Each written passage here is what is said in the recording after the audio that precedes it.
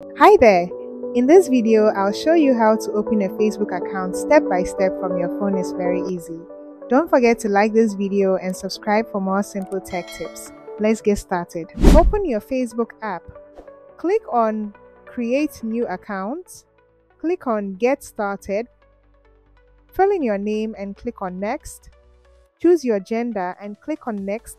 Fill in your phone where they can contact you. This will be private Click on Next, enter your email address and click on Next.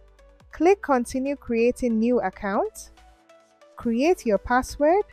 You can decide to save your login details so that they can log you in automatically whenever you want to use the app. But if you decide to save it, make sure to guide your phone for security purposes.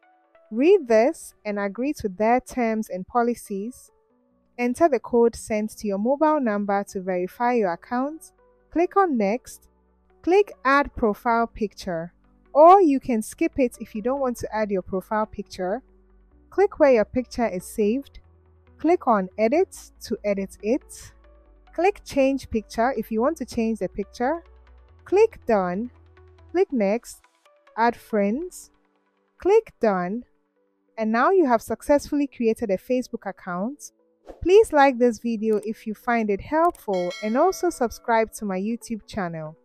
Thanks for watching and bye for now.